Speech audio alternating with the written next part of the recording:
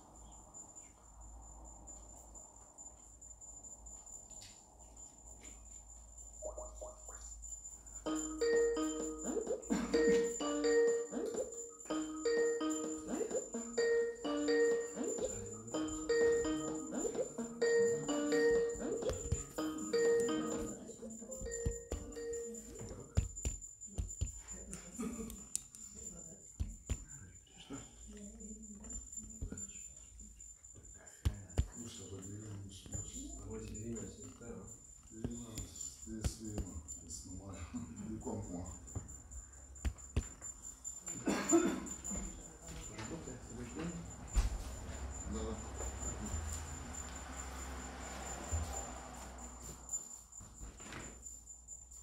Уже работает или еще живет? Да, через колокол. Сейчас буду работать.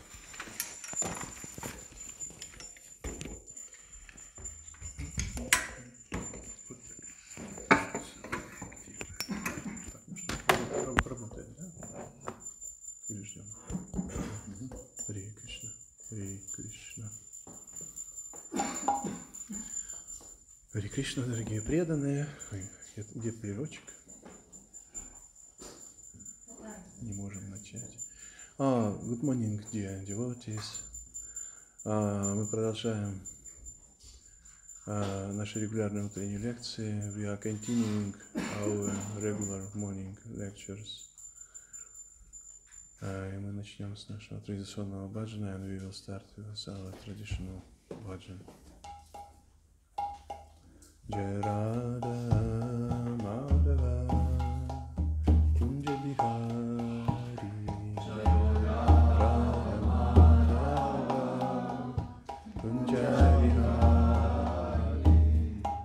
bir canavarla Giriyor arada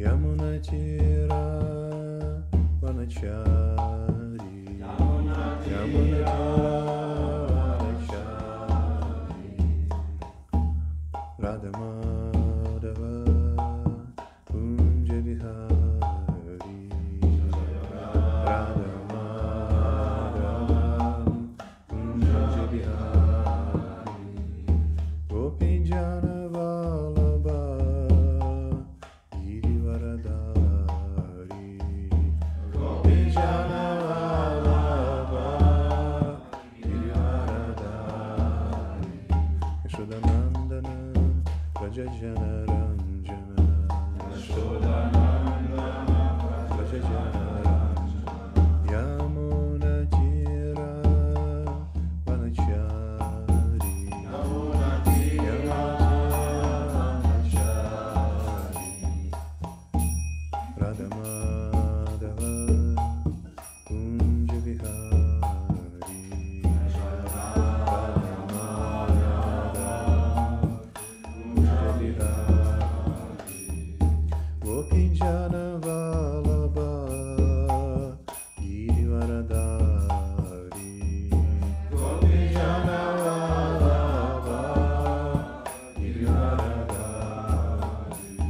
Shodanandana Brajajana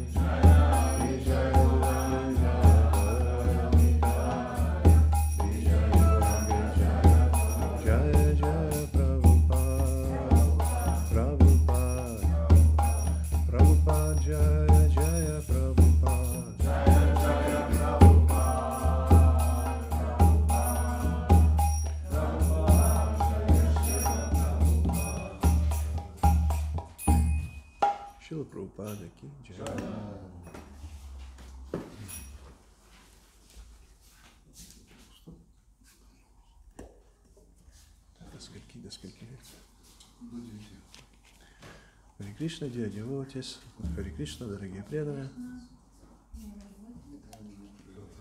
А? А, есть переводчик. А. Шила Прабхупада Ки Чай.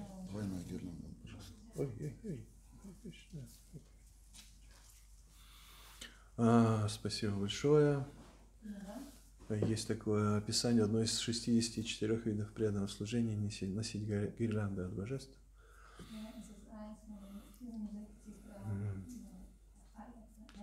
Спасибо большое, что вы занимаете меня этим служением. А, Так, сегодня мы будем читать Грандараджа Шимад Бхагаватам Шила. Да-да-да. Мы читаем Грандарадж Шимад Бхагаватам Шила Двая Вьяса Девы. В переводе с комментариями о божественной милости Ачабхакти Веданта Сами Шила Прабхупада. И сегодня мы читаем песню шестую. Она называется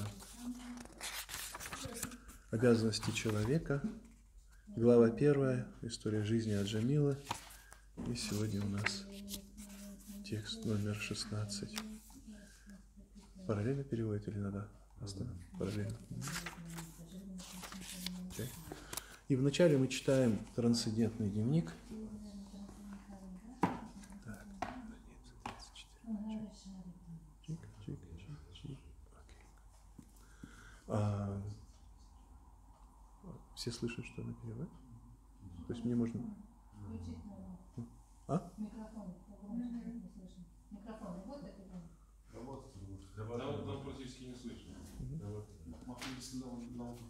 А, а ее слышно? Потому что если я буду говорить, и она будет говорить, не слышно будет никого.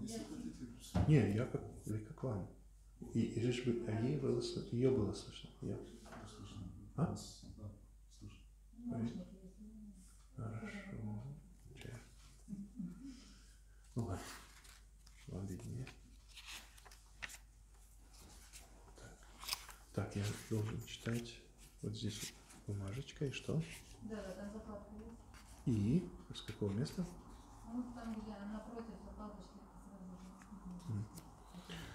А, трансцендентный дневник Харишаури Прабу. Если я буду читать это параллельно, то вам не будет понятно. Хорошо. Мадрас, 2 января 1976 года. Существует множество воплощений Бога, включая Кришну. Кришна велик, э, поведал миру Бхагавадгиту. Это не значит, что он не написал, э, не описал все воплощения или Прабхупада прервал его. Я уже объяснял это. А кто источник всех воплощений? Бог. Бог. А Бог это Кришна. Вы это не знаете, сле- следует понимать это. А Рама не Бог? Бог. Воплощение означает что-то воплощение. Кто это личность? Это Кришна. Вот и все. Очень печально, если вы этого не знали. Прозвучал последний вопрос. Обязательно ли проходить через э, все три ашамы Брамачари, Грихаского, Напрастха, прежде чем прийти к саньясе? Браман должен пройти через четыре ашама. Сначала стать брамачари, потом грехасхой, потом ванапрастхой, а потом принять саньясу. Для кшатриев предписаны брамачари, грехасха, ванапрастха. Для вайшев брамачария и грехасха, а для шудр только грехасха. Это естественный процесс, но не важно, кто вы, браман, кшатри, вайши или шудра. Если вы принимаете сознание Кришны, сознание Кришны возвышает вас над всеми правилами и предписаниями. Ответ Прабхупады был принят с воодушевлением, поскольку здесь, в Мадрасе, правительство, прилагая систематические усилия по искоренению отжившей кастовой системы. Однако попытки установить равенство в обществе часто приводили к дискриминации касты браманов. Прабхупада же описал истинную основу всеобщего равенства, которое не нарушит общественного спокойствия.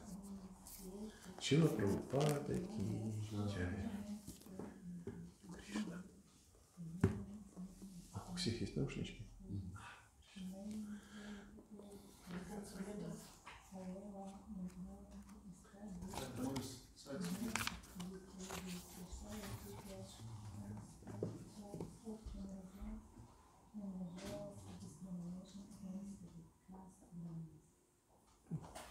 Так, давайте перейдем к Шримад Бхагаватам. Давайте произнесем мантру перед чтением книги. Ом намо Бхагавате Васудевая.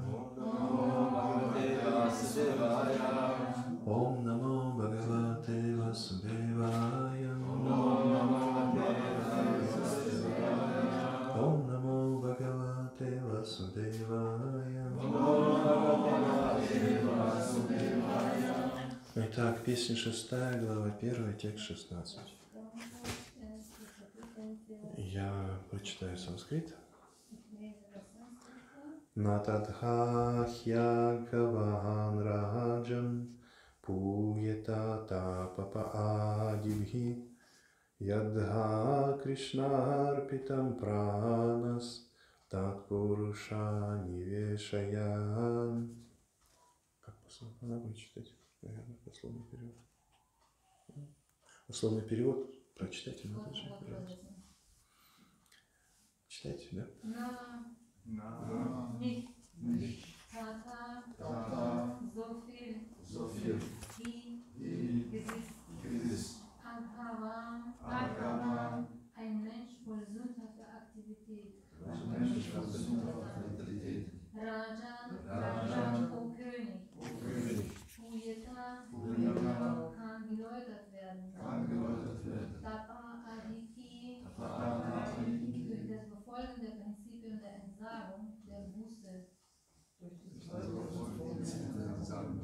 Der Brahmacharya und andere Leute uns folgen. Yada, Yada, so viel wie. Krishna Arpita Prana, Krishna der Gottgeweihte, dessen Leben vollständig Krishna bewusst ist. Der Gottgeweihte, dessen Leben vollständig Krishna bewusst ist. Tat Purusha Mishaya Tvaya, Tat Purusha Mishaya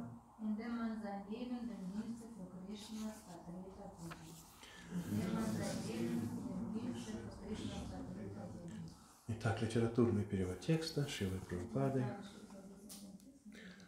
«О царь, человек смоет все грехи, если будет служить истинному преданному Господу и научится в него отдавать всего себя служению лотосным стопам Кришны. От греховной скверны нельзя очиститься ни подвижничеством, ни покаянием, ни брамачарией, ни прочими средствами искупления грехов, о которых я тебе рассказал. Комментарий Шилы Прабхупады. Тат Пуруша – это духовный учитель и проводник сознания Кришны. В одной из песен Шила Наратама Даса Такур есть такие слова «Чадия Вайшнава Сева Настарапа Ечхикева».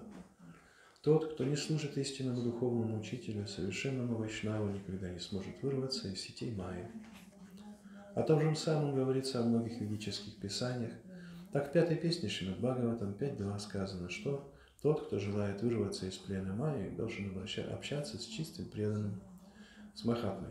Махатсевам дварам агур муктихе. Махатмами называют тех, кто все свое время отдает любовному служению Господу. О них Кришна говорит в Бхагавадгите 9.13. Махатманас тумам партха дайвим пракритим ашитаха ваджанти ананья манасо ятва бхута дим авиям. Перевод. О сын Притхи, великие души неподвластной иллюзии, находящиеся под покровительством божественной природы, находятся под покровительством божественной природы. Они поглощены преданным служением мне, ибо знают, что я верховная личность Бога, изначальная и неисчерпаемая. Главный признак Махатмы заключается в том, что он всего, всего себя отдает служению Кришне. Служа Махатме, Вайшнаву, мы очистимся от грехов, вновь обретем свое изначальное сознание, сознание Кришны и научимся любить Кришну. Все это плоды Махатма Севы. И, разумеется, слуги чистого преданного, не надо беспокоиться о том, как искупить свои прошлые грехи. Это произойдет само собой. К преданному служению следует обращаться не ради какой-то ничтожной цели, как искупление грехов, а чтобы пробудить в себе любовь к Кришне. Когда мы начнем служить чистому преданному, э, последствия наших грехов исчезнут сами собой, подобно тому, как туман рассеивается с первыми лучами солнца. Для этого не нужно прилагать особого усилия. Кришнар Питам Пранага – это преданный, для которого главное служение Кришне, а служить Кришне, а не спастись от адских мук. Преданных называют Нараяна Параяна или Ваасудева Параяна, подчеркивая этим, что путь Ваасудева, путь преданного служения, стал для них целью и смыслом жизни. Нараяна Параяна Сарвана Камкуташчана Бипхяти. Шримад Бхагаватам 6, 17, 28. Такие преданные без страха отправляются куда угодно. Их не заботит, достигнут ли они высших планет, обретут освобождение или окажутся на планетах ада. Преданные Нараяна Пара желают только одного всегда и везде помнить о Кришне. Они не стремятся в рай и не боятся ада. Их единственное желание – служить Кришне. Окажись преданный в аду, он сочтет это за милость Господа. Татте ну-ка пам пам су су микшаманага. Шримад Бхагаватам 10, 14, 8. Он не станет роптать, а почему я, великий преданный Кришны, обречен на адские муки? Или все это милость Кришны, скажет он. Так думать может лишь преданный, который служит представителю Кришны. В этом секрет его успеха.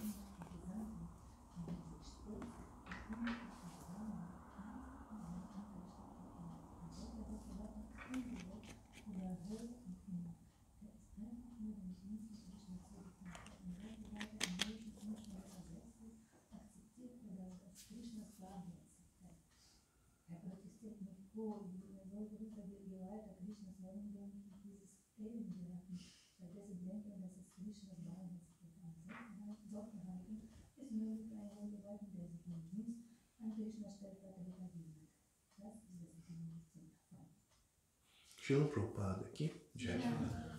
Ома Гьяна Тимиранася, Гьянджана Шалаке, Чакшур, Миритам, Мина, Тасма, Ши, Гураве, Намаха. Я родился во тьме невежества. Мой духовный учитель открыл мне глаза светом знания. Я в глубоком почтении склоняюсь к его лотосным стопам. Мукам каративачалам пангум мангете гирим эткри пратамахам манде. По милости духовного учителя, хромой человек перейдет высокую гору. Немой заговорит стихами, и слепой увидит звезды в небе. Om Vishnu Padaya Krishna Prashtaya Bhutale Shimati Bhakti Vedanta Swami Nitinamine Намасте Сарасвати Дева Гауравани Прачарины Ирвишеша Шиньявади Вашчатя Вишатарина. Еще раз перевод текста. Так, 16. Мгм. О царь человек смоет все грехи, если будет служить истинному преданному Господу и научится у него отдавать все, все- всего себя служению лотосным стопам Кришны. От греховной скверни нельзя очиститься ни подвижничеством, ни покаянием, ни брамачарией, ни прочими средствами искупления грехов, о которых я тебе рассказывал. Харе Кришна. Очень интересный текст и комментарий. И мы их обсудим сегодня. Если у вас есть какие-то вопросы или темы для обсуждения, можете об этом сказать сейчас или попозже. Если что-то уже сейчас, пока нету, в любое время вы можете сказать о своих вопросах или темах к обсуждению. Итак, здесь эта глава, во-первых, шестая песня. Шила Прабхупада выделял ее, поскольку здесь как раз история Аджамила. Преданные ученики Прабхупады рассказывали, а, к ним в храм приезжала коробка с книгами Прабхупады раз в месяц из BBT. Печатались новые книги, и приезжала какая-то служба доставки, и привозили какие-то коробки или ящик такой. И они распространяли эти книги. Но в один день приехал большой грузовик. Там было очень много книг. Может быть, в 5, точно, или 10 раз больше раз. Ну, не помню сейчас точно. Очень много. И он приехал к храму, и человек на машине сказал, забирайте. Они сказали, это не для нас, у нас меньше в 10 раз, это что-то ошибка какая-то. Он сказал, забирайте, показал бумагу, они забрали. И потом им позвонили и сказали, Прабхупада хочет, чтобы каждый житель Земли прочитал шестую песню. Потому что здесь история Джамила. Поэтому книг напечатали в 10 раз больше бюллетеней. Шестая песня Шримад Бхагаватам Ки. А почему? А здесь описывается величие святого имени.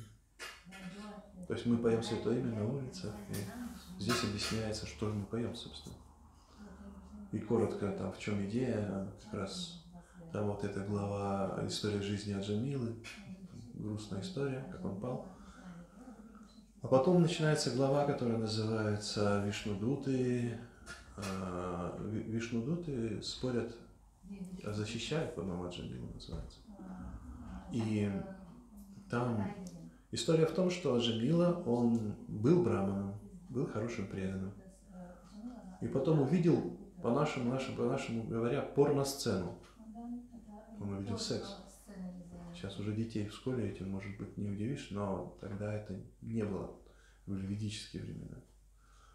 И он пал, не мог забыть это. А люди тогда жили по-другому. Если они о чем-то думали, они же действовали соответственно. Они понимали, это моя реальность, я должен это принять и подняться над этим. Проработать называется. Проработать. Поэтому помните панда, да? Панда тоже он знал, что если он при- приблизится к жене, он умрет, и он приблизился и умер. Он что, слабак? Нет, не слабак. Просто у них не было разницы между мыслями действиями. Они целостная личность. Если мы думаем одно, делаем другое, да, называется дуплисити, двойственность материального мира. И они этого не делали. Но в Кали-югу разреш... нет реакции за мысли. Нам разрешается думать, что попало, и при этом Хари Кришна повторять. В Кали-югу нет наказания за мысли. А раньше были наказания за мысли. Как раз описывается, что за плохие мысли можно было попасть в ад. В ад попасть, ад, э, достичь адских планет, просто неправильно думая. Нам это не снилось. Если бы нам это включили, но мы тут бы стройными шагами, стройными рядами бы пошли. Бхактитиртха с вами, он говорил, очень смиренно говорил, я как-то получил даршан Ямараджа. Я мне сказал, я тебя поймаю. И он сказал, ну я же саньяси, как так? А он сказал, ну ты думаешь иногда о женщинах. Саньяси не должен этого делать. Даже в мыслях. Ну так или иначе он в ад не попал. Но и Марадж к нему пришел. М, Стандарт Министерства саньясы, материальная мысль должна быть уничтожена секунд за 3-5. Если ты обнаружил, ты можешь не замечать что-то. Ну, бывает, мы не замечаем, да, мы, может быть, знаете, бывает, что, допустим, холодно, дождь идет, мы без зонта, и мы промокаем, да, и мы не замечаем, как там намокает четки или там намокает мобильник, потому что мы просто о другом думаем. Такое бывает, да, но если ты за- заметил, что он тебя промокает, да, надо что-то делать. Я помню, потерял часы и даже потерял один компьютер из-за дождя. Он промок под дождем. Очень сильный был дождь, у меня промок компьютер, и мне пришлось его выбросить. И часы, часы тоже пропадали. Просто. Зонтика не взял, пошел дождь. Неожиданно на берегу моря такое бывает. Поэтому, если ты обнаружил, стандарт Министерства саньяси, если ты обнаружил, что что-то не так, материальная мысль, может быть, ты просто смотришь на какую-то машину и говоришь, классная машина, вот это да, вот это цепелин, ну и так далее, то тебе дается 3-5 секунд, и ты должен с этим закончить. Грехаскам разрешается мечтать о материальном целую жизнь. Хочу дом построить. Хочу, чтобы дети были там. Грехаскам можно, а нельзя. Еще раз повторюсь, когда заметил, искренне саньяси скажет, потому что у него все, все инструменты, то есть это квалификация. Он просто говорит, так, все, раз и нету этой мысли. Ее можно легко закончить. По крайней мере, опытный преданный через концентрацию достигает это за несколько секунд. То есть, мы съезжаем с дороги, едем, заснули, я помню, ездил на машине и бросил, потому что я засыпал просто. Я как садился, сразу спал. Иногда я просыпался от того, что я уже начинал на обочину съезжать, или меня обгоняла такая большущая фура, что ну, очень большая, я ее вообще не видел. Думаю, о, я серьезно заснул на дороге. Я подумал, это опасно для жизни, и бросил водить машину, езжу на автобусах. М, Шила Прабхупада тоже у него, когда он был бизнесменом в Индии, у него было несколько машин, он не водил машину.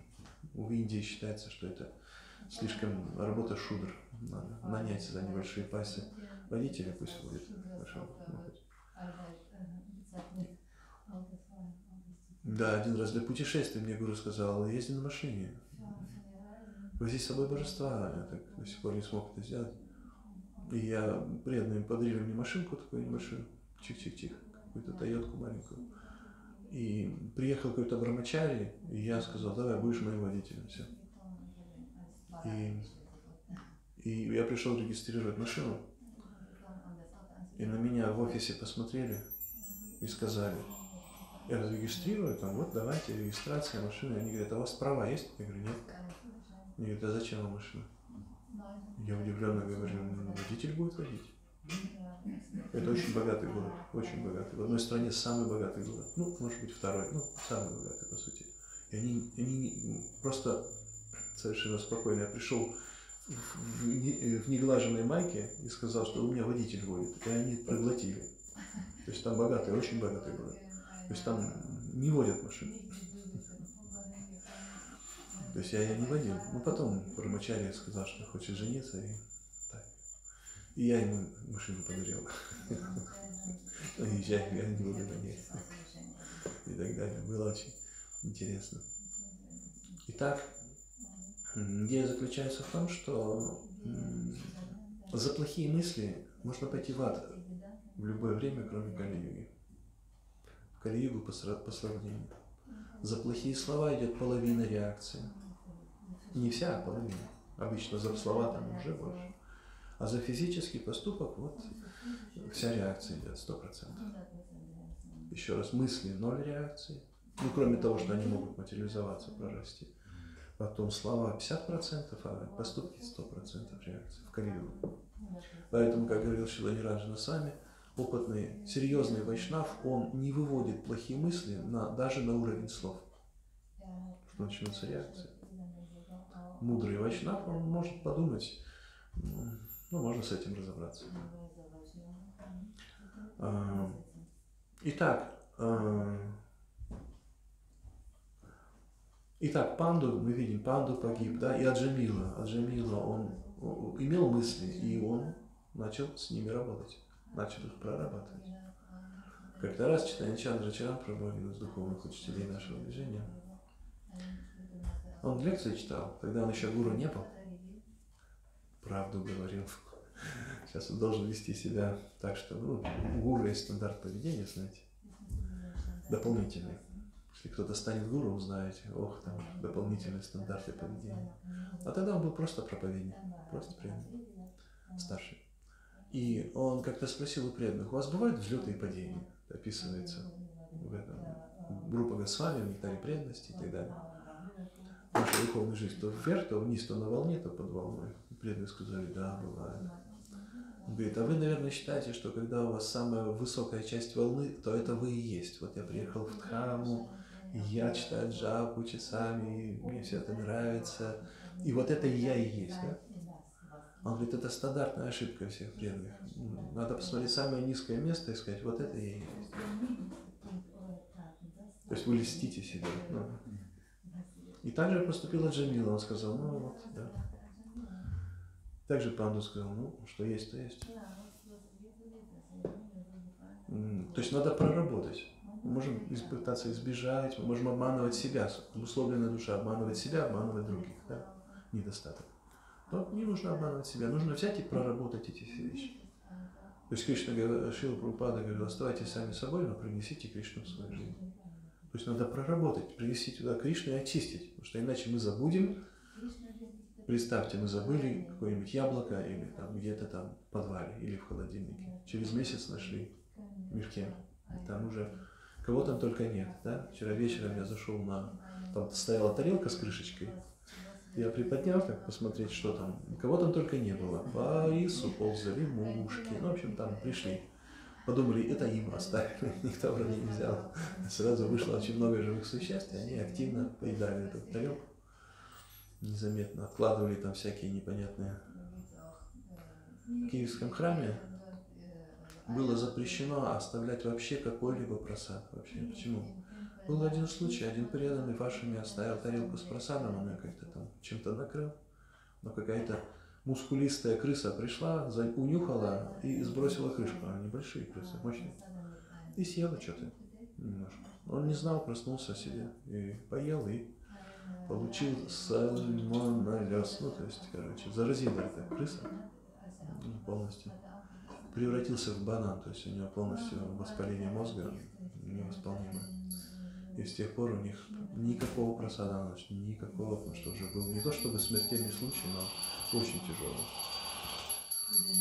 Какое-то живое существо явно было непонятно. Может быть, прилетела мушка, но она сидела на крысе, когда ну, на той же. И все это катастрофа. Называется антисанитария. И а, так вот Аджамила, он начал прорабатывать с, нуля. И, и в конце он, у него сын родился, в 70 лет родился сын. Ну, я не знаю, что это было, Кали-юга, не Кали-юга, не знаю, трудно сказать. У нас это много, а если они жили там 100 тысяч лет, может, не так много, ну, Я не знаю. Прабхупада не упоминает, как, не упоминает какая это была юга. И он назвал его Нарайна. Конечно, это была аккумуляция его преданности в молодости. Кришна дает знания, забвение памяти. И он сказал, Нарайна будет, сын Нарайна. И потом он его звал Нарайна, Нарайна, Нарайна. И когда оставлял тело, он тоже кричал Нарайна, Нарайна. Потому что пришли э, Ямадуты, и они его связали хорошенько и стали уже вытаскивать. Он, конечно, был в шоке, там такие персонажи, ой, я скажу, м, тяжелые. Страшные просто. И, а, но он кри- кри- кри- крикнул Нарайна, и пришли Вишнудуты и прогнали Ямадуту. И Прабхупада пишет в комментарии, Вишнудутам было совершенно неважно, в каком сознании он произнес святое имя. Они просто имеют санкцию защищать и приходить и забирать, если произнесено святое имя хотя бы раз. И они ждали, произнесет, не произнесет, давай произнеси. Че, парень, давай. Ну, и он, Нарайна. О, сразу Советский Союз. Ну, то есть, ну, то есть. Оп, наш. Сразу, как только он один раз произнес, совсем не важно в каком сознании. Имя произнесено, Вишну Дута здесь. Все. Как только мы приносим святое имя, Кришна сам приходит в этом имени. Вы же знаете. Нама Аватара. Они говорят, так, наш Господь здесь, и мы будем с Ним. И сразу Вишнудуты сказали Ямадутам, как, back, back, то есть назад, назад. А все случилось. И Прабхупада говорит, это должны знать все. Просто произносишь святое имя, и все. Один ученик Прабхупады, Саньяси, его мама плохо относилась к сознанию Кришны. Но он как-то пытался через этот дремучий ураган Тамагуны все-таки заботиться о ней как мог, ну как-то так. Хотя там, ну, в Кальюгу Прабхупада говорил, ну ничего, можно думать о маме, ничего. Если- ну, то есть не слишком близко общаться, ничего. Хотя, в принципе, саньяса не должен, как бы. Господь, но Господь Читания встречался. И она оставляла тело, он пришел. Он же священник, саньяси. Его мама выходит, он же должен помочь ей. И она посмотрела на него и сказала, ну что, где твой Кришна? Он сказал, здесь ли твой Кришна? И она сказала, здесь, мама, здесь. И она оставила тело. И Прабхупада, когда узнал, сказал, «О, ты очень помог своей маме. Ты очень хорошо поступил. Молодец. Так, просто она сказала в момент смерти, просто, а где твой Кришна? Здесь? Достаточно. Оп! И Вишнудуты на месте. Ну, если это смерть. И не то, что ну, во время Киртана тоже приходит и Кришна, и, и все Вишнудуты, и все спутники вместе с Кришной приходят мудрецы и так далее. Любой киртан. Вот мы сейчас пели киртан Джайрадха Матхава, до этого Чигуру Чарна Падма, и Кришна был, кто видел?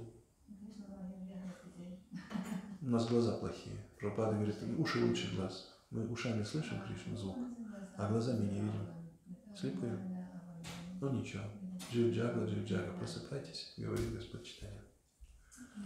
Это история, которую Прабхупада хотел распространить по всему миру. А вот здесь у нас текст сегодня, 16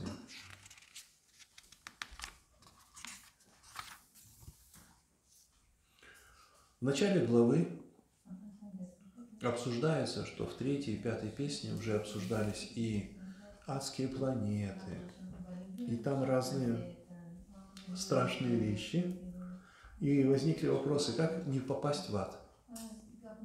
И вот здесь как раз описывается, уже было описание Вараашамы, Брамачари, Аскез разных, искупление грехов проящика, все это описывалось. И на это Махараджа Паришит м, не вдохновился, он сказал, нет, вся эта проящика, вся эта кармическая благочестивая деятельность, это, это как слон, который вроде помылся в реке, потом вышел решил поспать и лег на бок. Сразу стал грязным. бесполезно, то есть очищаешься, снова грязнишься, очищаешься, грязнишься, прогресса не будет. И вот тогда, да, выслушав это, Шукадева сами начинает говорить правду. Вначале он просто решил, так сказать, проверить Парикшита. И сказал глупость, ну, с точки зрения преданных. Но так как Парикшит был преданный Господу, он сказал, да, это нет. Ищи дурака, да. Нет. Я не такой глупый. Я знаю, что это не сработает. И тогда он начал говорить правду. И в этом тексте вот эта правда-то и говорится. Человек смоет все грехи, если будет служить истинному преданному Господу. Вайшнава Сева. Или Гуру Сева. Гуру Сева. Это очень важная вещь. Каждое утро мы поем. Ася прасад, Бхагават прасадам, Ася прасад, Нагатив Путапи. По милости Гуру мы обретаем милость Кришны, без милости Гуру мы не сможем ее обрести. А, Гуру Сева. Личное служение духовному учителю. Я в детстве телевизор любил смотреть. Особенно всякие образовательные, научные каналы мне нравились всегда. Любил учиться с детства, сейчас тоже люблю. И э, была в Советском Союзе, в атеистическом государстве, была телеканал «Наука и религия». Это было очень интересно. И я его смотрел. Я не был религиозным человеком. Я родился в городе, в котором абсолютно не было ни одного храма. Этот город был создан Сталином в 1943 году во время войны. И все, социализм был настоящим, образцово показательным. И ни одного храма не было. То есть я был полным атеистом. Но мне нравилось смотреть науку и религию. И там один раз показывали монастырь христианский. Были монастыри еще в Советском Союзе, несколько штук было. А? Да. Может быть, я не знаю, но один из них был в Омске, город Омск. Происходит от звука Ом. Бхактивида Гаvinda Махарадж, когда приехал в город Омск, он хохотал как ребенок. На каждой машине было написано циферки и Ом, Ом, Ом, Ом, Ом. Он сказал, это святой город. И вот в этом Омске был христианский монастырь. И и вот показывали, там были какие-то молодые монахи, им было лет 25-30, с бородами в рясах черных. И они рубили дрова зимой на морозе. Фу. Они их спросили, что это вы тут делаете? Они сказали, это трудовая, трудовая повинность, духовная, духовный труд. Упражняемся для Бога, дрова рубим. И они как-то весело отвечали, что-то смеялись там. Я посмотрел, и как-то я подумал, монахи вроде такими не должны быть, что-то весельчаки какие-то. Я посмотрел, думаю, что-то тут не так. И как-то мне не захотелось дальше смотреть. И я подумал, ну надо переключить вот это. Какие-то монахи веселые. Ну тут начали показывать настоятеля храма, прямо лицо во весь экран. И вот он мне понравился, как человек. Я так посмотрел, думаю, о, какой классный дедушка. У него были яркие глаза и большая седая борода. И его спрашивали, ну как вы думаете, вот вы настоятель монастыря? Он говорит, да. И он э, спросил оператор, а какие перспективы у вашего монастыря? Ну что, будущее, как вы видите? И он чуть не расплакался. Он сказал, не знаю, думаю, вот умру, и все закончится. Он уже старый был. И этот оператор, он начал спрашивать, как? А там же монахов 20 штук во дворе. А этот настоятель как-то начал правду говорить, так чуть не плача, говорит, да, они только хохотать и могут, и дрова рубить, а на молитву засыпают. Нет, говорит, ничего с них не выйдет. И вот тена, действительно. Представьте, за- засыпают на молитве, только их хохочет. Я тоже подумал, какие странные монахи. И, и он сказал, а, из них никто не вы, ну как, берем, набор сделали, знаете, студентов, а кто из них в академике выйдет? Говорит, из этих ничего не будет. И тут раз дверка открылась в его комнату, и зашел такой мальчик, невысокий, школьного возраста, лет 15. И на нем была такая серенькая рубашечка какая-то, и какие-то штаны, что- ну, брючки, то есть он не был даже в рясе. И этот оператор сразу развернул, ну, раз, я увидел такой, ну, это живая, просто они снимали живой эфир, раз, он развернулся на дверь, и настоятель говорит, и уходи, уходи отсюда. А этот оператор говорит, а, а, режиссер говорит, а почему? Подождите, стойте. Он говорит, за мной, и они побежали за этим парнем. Бросили настоятеля, побежали, потому что тот плачет, сидит, ну что показать. И они кричат, мальчик, стой! Они его догнали. Он говорит, а мне запрещено говорить с вами. Он говорит, почему? Он говорит, не знаю. Он говорит, а ты кто? Он говорит, я школьник. А как ты учишься? Он говорит, да хорошо учусь. А что ты тут делаешь? Он говорит, да я после школы прихожу, сделаю домашнее задание, прихожу вот настоятель. И что-то задали, типа, ничего интересного нет, обычный школьник. Ну, пришли обратно. И говорят, а и снова, а почему вы думаете, что будущего-то нету в монастыря? Они тоже, видно, энтузиасты хотят. А он говорит, да вот единственная надежда на этого парня. Единственная надежда. А он молится с утра до вечера. Вот при себе-то и держу.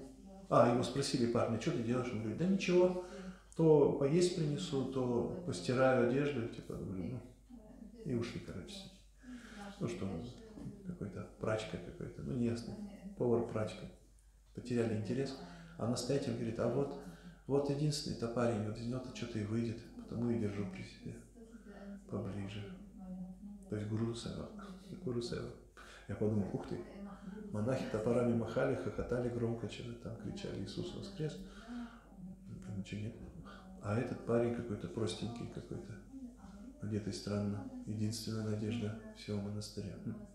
На этом передача закончилась, началось что-то еще. Я подумал, так, это интересно. Потом я стал преданным. Трах, бабах, бах, я стал преданным. Ам, И тут тоже я узнал, что есть понятие гуру сева. Личное служение духовному учителю. И и считается, что это в тысячи раз мощнее, чем просто служить. Тоже служение делать. Нам это сразу рассказали. Я это услышал впервые в году в 90-м в Советском Союзе. А, Старшие преданные, они говорили, что гуру сева, личное служение святому Вайшнаву, это очень важно. Это нужно достичь и, до- и сделать это. Нужно обязательно лично служить святому Вайшнаву. И один преданный рассказывал пример. Он инициировался, не помню, в 89, в 89 году, по-моему, он инициировался. А, И он рассказывал, что он услышал про гуру Севу, а его гуру, он приезжал, был часто доступен, и он пришел на Даршан к гуру и сказал, я слышал, есть гуру Сева, личное служение. Тот сказал, да, правильно, а кто тебе сказал? Кто, кто? Так, сдал, сдал, меня сдал. Он говорит, вот такой-то преданный рассказал на лекции. Он говорит, да, это так. И правда, что это более интенсивно? Он говорит, да, это очень благоприятно, личное служение гуру. Он говорит, а можно мне выполнять какое-то личное служение для вас? Тот сказал, да. Тот так обрадовался, о, гуру даст личное служение. Он ожидал там, что там, не знаю, там, ковер выхлапывать, ну там, из квартиры, ну где он живет, ну что там, по-своему думал. Гуру сказал, я очень тебя прошу, пожалуйста, читай каждый день 16 кругов джапы. И тот ученик подумал, я уже читаю. Он сказал, да, и ты можешь следовать четырем регулирующим принципам для меня. Тот подумал, так, это я тоже вроде делаю. И он еще подумал, сказал, да, и если хочешь, если есть возможность и время, проповедуй. Все, хватит. Этого достаточно. Тот очень удивленно поклонился и вышел. И все думал, одевая башмаки. Так, не понял я. Хотел личное служение, а мне джапу, принципы и проповедь. Но я, говорит, сидел, я, говорит, тогда уже проповедовал, читал, конечно, джапу, следовал принципам. И я был расстроен. Он говорит, не получилось, наверное, получить личное служение, не дал. Но когда он вышел из квартиры на гостиничную клетку в подъезд, да, он сразу увидел, что вся жизнь поменялась. Теперь служение, которое он делал, стало, стало личным служением гуру. И моя жизнь сильно поменялась, очень круто. Вот это очень важно. То есть мы не должны ждать какого-то особого служения. Например, Шри Прабхупаде. Можем лично служить Прабхупаде, нет проблем с этим. Правда? Можем следовать его наставлениям, читать 16 кругов. И также гуру. Пожалуйста, повторяю 16 кругов. Надо вспомнить так, это мое служение гуру, служение Прабхупаде. И тогда уже другое будет настроение повторения совсем, что вместе с гуру, с Прабхупадой, за одним плечом Прабхупада, за другим духовный учитель, да, мы сидим Харе Кришна, Харе Кришна и так далее. И так мы должны все наше служение делать как Гуру Сева. Это совсем не сложно. Не надо там что-то раньше вставать и меньше есть или там что-то там еще. Писать по утрам м, тилакой святые имена на санскрите, на руках и ногах. Это не обязательно. Я видел разных преданных, всякие бывают, вайшнавы. А, еще одну историю расскажу. А, Я был в Святой Дхаме с одним духовным учителем, учеником Прабхупады, Саняси. И он, у него был личный слуга. Он делал все, он редактировал книги, которые писал духовный учитель, готовил ему просад, стирал, в общем, все, все делал. А я вот просто, а я гулял, охранял гуру по время прогулок, я вместе с ним читал джапу, ну то есть надо же еще. Тот занят все время почти, ну все время занят. А я вот уже, когда гуру ну, в жизни, то я с ним хожу туда-сюда, он хочет искупаться, я иду с ним на берег, там, ну и так далее, подаю ему гамчу, ну, если он там хочет в Святом озере искупаться. Ну, короче, я выполнял вот вторую функцию, то есть в жизни его сопровождал. Служил его трансцендентному телу, занятому преданным служением. И мы пришли в один храм. Надо сказать, что это духовный учитель, он мне сказал, ты должен читать каждый день лак, то есть 64 круга. Ну, так и получалось, потому что он тоже читал, и я с ним гулял, и мы все читали. Ну, короче, мы вместе читали, получается. И мы пришли в один храм, там жил какой-то местный настоятель храма, Вайшнав, эм, какой-то, я не знаю, какой-то, ну, не исконовский, он, он видел еще и Бхактисиданту Сарасвати, с Прабхупадой встречался два раза, как там такой известный преданный. Ну, сейчас он давно тело оставил. Я, я не помню, какая-то, ну, что-то такое. Но он был нормальный, там никакой ганджу не курил, то есть присоединился к Брамачаре, всю жизнь был Брамачаре, и потом стал черным и так далее. Спокойно жил там в храмике в одном. И как-то раз мы пришли в этот храм, это очень известный храм, тот Агапинатха, там Господь Читания, каждый день приходил, и там божества, он вошел в тот Агапинатха, Господь Читания, очень святое место. И мы приходили туда, когда посещали.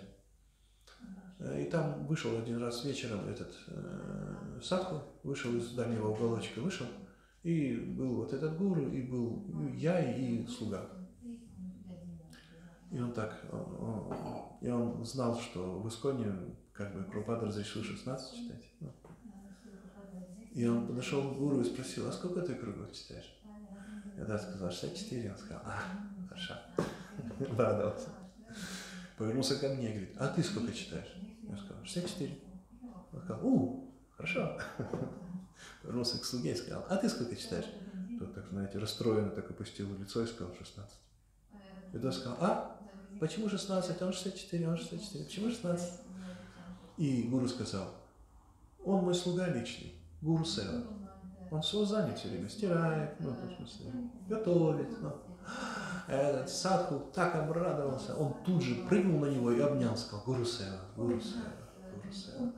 Окей, 16, окей, Сева. Потому что эти 16 превратились в очень много, умножились, приумножились очень сильно. Стоит еще раз. Он говорит, а, Гуру Сева, хороший мальчик, хороший мальчик, твой. Ага, вот. Мы все должны служить гуру, гуру севу делать. Тогда любой добропорядочный, разумный, преданный, он скажет, гуру сева, чай. Это чай. Это великая удача. Мы распространили одни, одну книгу, а получили результат 100 книг. Распространили там, там проповедовали 2 часа, а получили э, результат проповеди 200 часов и так далее. Это очень просто. Ничего менять не надо. Нужно это в сознании. У нас же общество сознания Кришны. Главное сознание наше. Внешне мы можем вести себя очень смиренно каким-то образом. Нет проблем. Очень смиренный, преданный, а он столько служений делает. А внешне выглядит, что там ты книги опять распространил, что-то да еще небольшие. Ну ничего, ничего. Зато он с такой медитацией на удовлетворение Кришны и Прабхупады для них, для них распространял. И тогда это Гуру Сева. Вот об этом здесь говорится. Потому что на самом деле, вот как э, Шил Ниража сами его спросили как-то, расскажите о Прабхупаде. Он говорил, «Ну, я два раза его видел. И так далее. Вообще первый раз увидел на второй инициации. Заочно первую получил. Ну что там, тысячи учеников, их много. А Прабхупада один. И он уже в годах ну, и занят очень сильно. Но как-то раз Ниранджа сами вернулся из, из Нью-Йорка. И там была встреча в первом Нью-Йоркском храме. Помните, это бесценные дары. И там было ученики Прабхупады собрались. И он тоже пришел послушать, как они рассказывают о Прабхупаде будут. Они рассказывали истории, Брамананда был тоже, и плакали, вспоминая там разные истории. Он говорит, и я пожалел, что я не записал, мобильников не было, а диктофона не взял. А потом, а, и когда его попросили, тоже давайте, Махарадж, что-то расскажите. Он два раза видел, что-то сказал немножко. А Я сказал, я в основном как бы следую наставлениям Прабхупаде, я, это все, что я могу. Мне остается только следовать наставлениям. И они как-то так, ну, недолго он говорил. И потом они, он подвозил Брамананду, первого президента Нью-Йоркского храма, на машине. Они ехали вместе с машиной, пошли к машине. И Брамананда сказал, уже наедине, когда они вышли там, он сказал, я, конечно, могу часами говорить про Прабхупаду и плакать. Но ты вот рассказал там о своих храмах там на Украине, там в Прибалтике, там и Белоруссии. И я вижу, что твоя преданность Прабхупаде больше, чем моя, крепче. Я могу плакать по Прабхупаде, но служения большого не делаю. А ты, ты пару раз видел Прабхупаду, но зато ты так хранишь это в сердце своем, и ты служишь больше меня. Он сказал, мне кажется, твое сознание Кришны лучше, чем у меня получилось. Очень интересно. И он рассказал об этом в Киеве на лекции. Вернулся и просто поделился. Он там правду говорит. И Раджа в Москве не говорит правду, а в Киеве говорит. Потому что там есть те, кто его могут понять. Что ну, как, мало сказать надо, чтобы что, поняли еще? И там ученики, и там ученики, и там, там сотни, и там сотни. Ну, не получается. Он пытался одно время говорить одно и то же, рассказывал. Я делал то, что здесь. Он начал одну программу заботы о преданных, учениках, он их вместе собирал и устраивал общение. И потом мы узнали, о, он еще в Москву поехал, вот повезло тоже москвичам. Он приехал и сказал, я пытался делать то, что здесь в Москве, ничего не получилось. Это никому не понравилось, даже ученикам. Есть же понятие храм сердца гуру, да, то есть там, где он может свое сердце открыть. Ну, а есть просто место, и учеников вроде тоже сотни, но только отклика нет. Он говорит, он говорит, я говорил то же самое. Ну, тоже нам рассказывает. Я говорил то же самое, что здесь, но здесь это выразилось то, что преданные, как одна семья вместе, там, сердце к сердцу, а там ничего не произошло, эффекта не было. Атмосфера осталась холодной и сырой. Ничего не получилось. Хотя тоже Махарадж и инициированные ученики, просто другие. Поэтому да, если мы должны как бы держать нос по ветру, нас тренируют в Министерстве саньясы, как бы студент саньяса колледжа, нужно приехать и побыть в храме, посмотреть, куда они, как преданные, что думают, как понимают, чтобы как бы в ту сторону тоже, ну, как бы пытаться. Как, знаете, нельзя гладить кошку против шерсти. Плохо кончится. Так и здесь, как проповедник, я могу сказать то же самое, что где-то там в другом месте, где преданные были счастливы, а вы, допустим, может, скажете, а что он вообще говорит. Если такое бывает с моим гуру, то почему со мной не бывает? И это известно, феномен. И нас, нас предупреждают, то есть вы должны внимательно смотреть, что кому говорить. Нужно, чтобы в конце все были счастливы. Ну, я надеюсь, что я соответствовал, так сказать, э, философии текста и говорил элементарные истории, которые не связаны с, как с местом, временем, обстоятельством. Мы говорили на вечные темы, мне повезло. Мне, ура, повезло. Ну вот, у нас скоро будет уже конец. Если у вас есть какие-то вопросы, комментарии. Мы обсудили общий смысл шестой песни, да, вот это святое имя. И мы обсудили, что Гуру Сева. Здесь описывается Гуру Сева. И вот на эту тему мы говорили. Да? Потому что, а сколько можно вопросов один человек по одному задает или сразу пять можно? Как у вас в храме? Сколько времени? Не, я-то что, вопрос спросим, а я потом три часа буду рассказывать, а другие будут ждать свои вопросы задать. Иногда бывает один, потом другие, потом второй, потом другие. Я же не знаю, как у вас. А я-то, вот как вы скажете, вы же менеджер, я же простой советский браман. Ну. Я не знаю, как. Первый вопрос у меня относительно первой темы. Когда сказали, э, за мысли в Кали-йогу ничего не, а, не бывает, и, ну, то есть человек не попадет в ад. И вот у меня сложилось такое впечатление, что когда мы говорим о том, что ад – это нечто когда-то нас может ожидать, то на самом деле мы забываем о том, что ад может быть здесь и сейчас, в нашем сознании, да, то есть а, пребывание в, с этими мыслями может человеку создать вот это состояние ада уже здесь и сейчас. И ам, вот когда мы говорим, что ад будет когда-то или духовный мир будет когда-то, мы себя отделяем от этого понятия, то есть сознание мы живем не здесь и сейчас. Вот у меня такое сложилось впечатление. Так, хорошо, спасибо, что сказали. Можете сказать? А что я должен сказать? Все правильно, да? А что я должен? Но то, что все равно нужно их контролировать, в смысле, я к тому, что не, не, не пенять на то, что ладно, мне ничего не будет за это, а нести за это ответственность за мысли. То есть, потому что мы влияем не только на себя, и на других, потому что мы по ним, можно сказать, и атмосферу тоже оскорбляем. М, А что я должен сделать? Вы меня просите, что сделать? Я пока не понял. Что я должен сказать? Нет, потому что оно немножко, ну как сказать, это а, так или не так?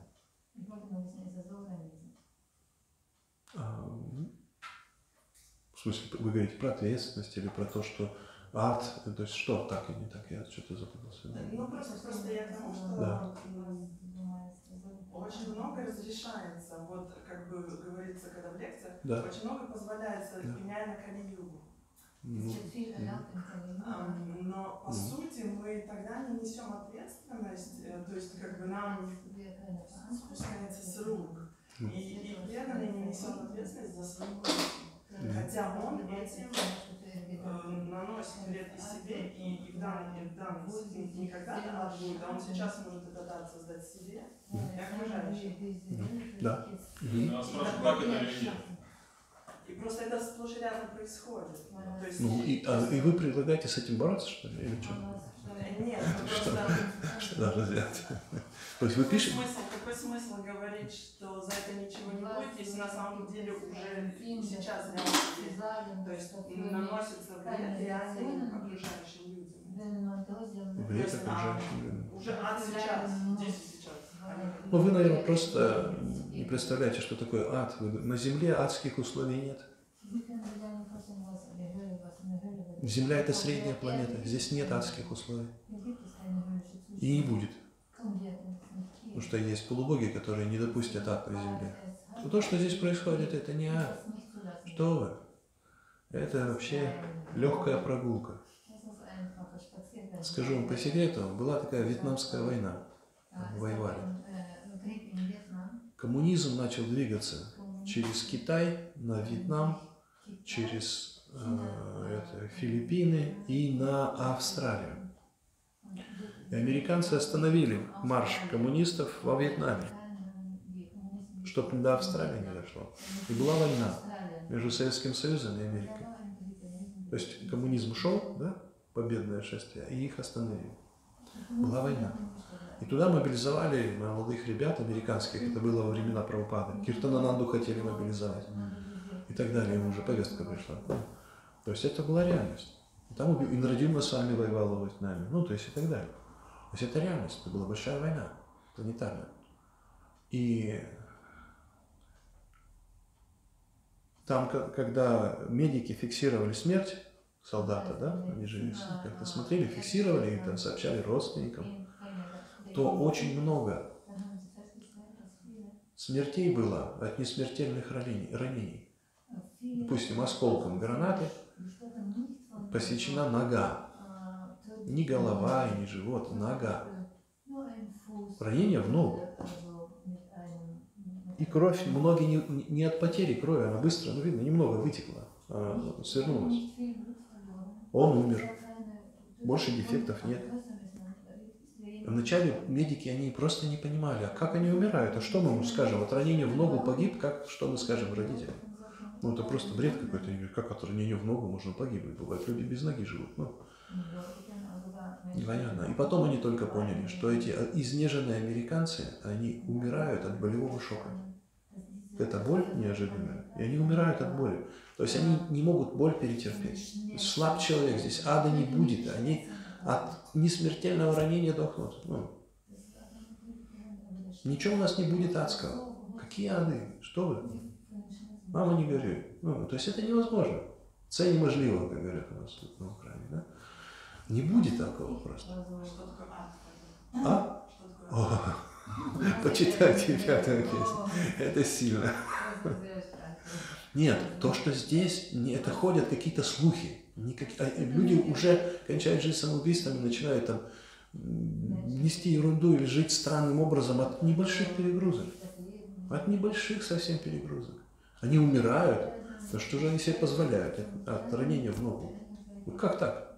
Стыдобище есть романтично. Нельзя умирать. Серьезный герой должен терпеть боль. Ну, и так далее. Ну, ну как так? Понимаете? И счастья тоже. Ничего там нету. Какое тут счастье? Ну что тут счастье, да? Там что? Сходите в дискотеку, там, ну что? Ну и что, да? Ну ладно, тортик съешьте. Ну, вот если вам дадут сразу двухкилограммовый, то вы сразу за, ну, живот болит на утро. Ну, и так далее. У нас ничего, ни наслаждения, ни счастья. У нас нету ни ада, ни рая. Нету. Поэтому эти все теории о том, что у нас тут ад, нету тут никакого ада. Это рядом не стояло. Это там тысячная доля того, что в аду. Там совсем плохо. Очень плохо. Понимаете? Поэтому никуда мы не попадаем. Мы просто живем с плохими мыслями. Нету. Это какие-то христиане говорят и другие философы. Есть целый ряд философий. Они говорят, ад на земле. Нету никакого ада. Что вы говорите? Где я только не жил. Нету никакого ада. А? Все субъективно. Кришна говорит ну, в Бхагавадгите, во второй главе мантрас Пашасту Каунта Яша Тошна Суха Духа Дам. Счастье и страдания субъективны. Это философия, курс Бхакти Шастра. Это субъективно, никакого ада нет. Нет никакого ада. На земле не, не будет. Это не ад, тут его очень трудно сделать. Очень-очень трудно. Ну, невозможно. По сравнению с тем, что там нет. Это не ад. Это так, тень небольшая такая, чтобы так воззвать людей к послушанию. Поэтому я не могу с этим согласиться. Ну, то есть, а насчет того, что люди расслабляются и думают, как хотят, и там не, не хотят принимать ответственность. Ну вот смотрите, женщинам и детям разрешается э, быть как дети. А тра-ля-ля-ля-ля-ля, а я сошел с ума. Ля-ля. Может женщина сказать, и все скажут, ну, вот это же. да». Есть, я не стану на Мангаларате. М? И все. Пробу все подъем. А Матаджи половина. Мгм. Куда-то они пропали. Ну, и так далее. Вот пример, да. И что мы с этим будем бороться, всех Матаджи строить, да? Не, нас просто выгонят, если мы начнем это делать. То есть, какие люди есть, такие люди есть, мы работаем как есть. То есть, что, что, я то есть вы говорите безответственно, ну, как есть, да. Матаджи половина приходит на Мангалаарти. Ну, да? Вы, может, это заметили? Я не знаю. Причина. Да, причина не Матаджи. Так и здесь у человека думается, думается. Как мальчика спросили, ты где был? А он говорит, я это гулял, так ты же в магазин пошел. Я шел, а потом пошлось в парк. Ну, то есть я шел в магазин и вот. Ну, по-детски, ребенок просто. И так далее. Шел распространять книги, а закончил приятием просада в пиццерии Вайшнавской. Ну, и так далее. Ну да, вот, да, что еще хотите сказать? Что я должен еще сказать? Мысли есть в Кали-Югу, какие есть, потому что мы морально неустойчивы. М, Ну, ну, это так мы не говорим, мы просто нестабильны. Утром хотим одного, днем другого, вечером третьего. Утром хотим Кришне служить, днем так еще, а вечером уже не хотим Кришне служить. Такое может быть. И мы всех принимаем, никого не выгоняем. То есть, да, ну, ну, и на воскресной программе даже можно в храме пожить. Ну, нет проблем. Да, и что? Да, такая ситуация. И у них нет наказания. Нет наказания. Мы говорим, хороший преданный. Круги читаешь? Да, ну все, заходи. А он с утра их читает, а вечером не читает. Нет, ну это по тактике правильно, а по, по отношениям, то есть ты не сможешь, а, ре- я про отношения. То есть если какие-то мысли, да, а у тебя какие-то отношения с этим преданным и с, как будто двуличие происходит, да, то есть ты, тебе кажется, что ты как бы, ты же вроде просто думаешь, а на самом деле, ну, то есть ты же не, м, то, что ты не в вакууме живешь, да, то есть я про отношения, то есть немножко дальше, понимаете? когда мы думаем, Не обязательно, совсем не обязательно. Смотрите, вы просто рассматриваете преданного статично. Опять же, читание Чандра Чаран лекцию как-то читал. Его спросили, курить это плохо или нет? Он сказал, надо смотреть. Не могу сказать сразу. Если человек курил пачку в день, а сейчас уже курит всего две, то это очень хорошо. Это прогресс. Он уже почти бросил. Его надо вообще прославить и помочь. А если он не курил и закурил, ну это плохо. Ну, то есть надо смотреть, откуда. Две сигареты в день с нуля до двух – это падение. А если 20 и стало 2, так его, он уже почти кончил. И все так бам.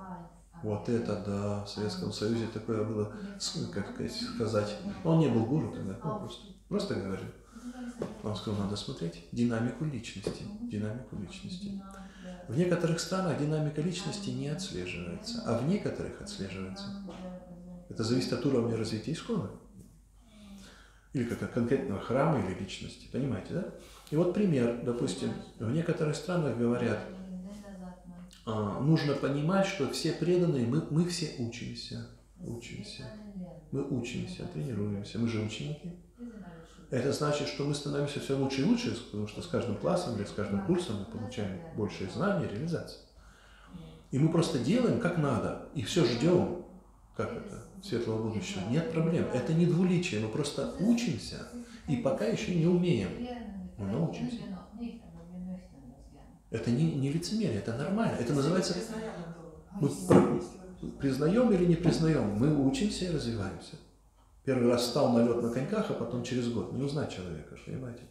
Понимаете, да? Нужно просто дождаться. И вот сейчас я плохо ду- думаю о преданном, но я же вайшнав, я же очищусь, чета дарпана, марджанам, то есть святое имя очищает сердце и ум. Надо просто подождать. Не надо сейчас ему говорить, зачем говорить? Ну, эту мысль. Просто я подожду, и все закончится. Пример.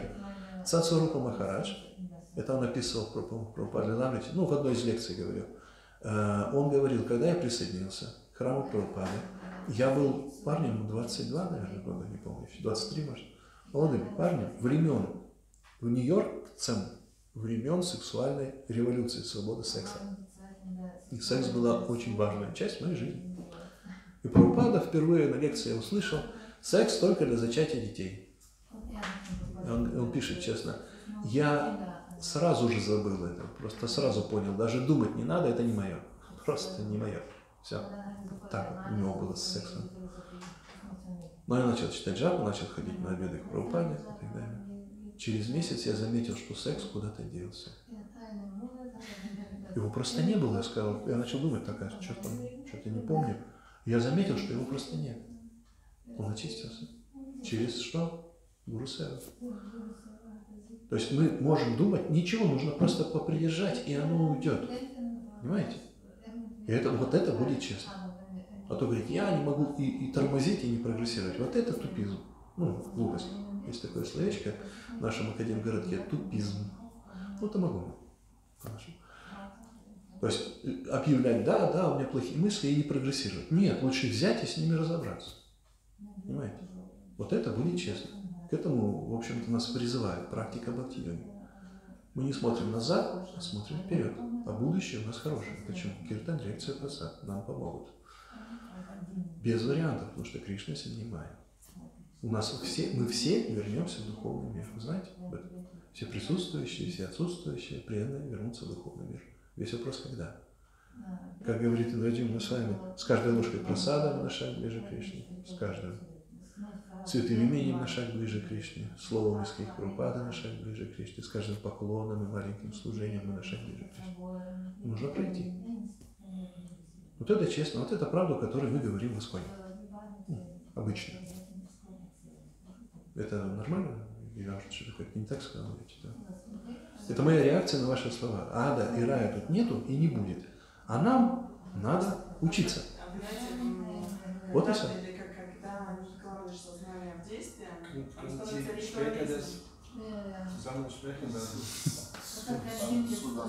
ритуализмом. Ну, ну да, я же не против, я же поэтому...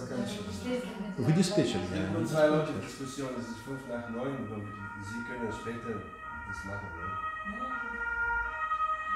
Я ж, я ж просто, меня спрашивают, я и говорю, вы ж, вот диспетчер, вот диспетчер, вы ж туда. Das war eine Frage, es war Diskussion,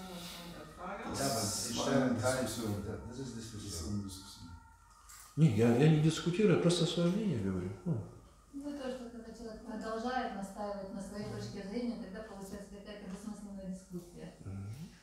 мне нравится. Хорошо. Мне все нравится в сознании Кришны. I like all things in Krishna consciousness. No bad things in Krishna consciousness. Bad things out of Krishna consciousness. Плохие вещи, они так, за материал, за сознание Кришны.